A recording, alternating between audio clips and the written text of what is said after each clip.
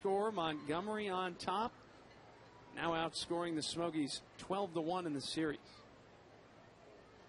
3 1 pitch. Marjama swings and rips one in the air to deep right center field. On the run is McKinney, and that one is off the wall as well. One run scores Adames. Here comes Bauers, and the throw is airmailed towards the backstop, and that will allow Marjama to move up to third. It's a two run double from Mike Marjama, and the Biscuits are blowing out the Smokies now, up eight to nothing here in the fourth.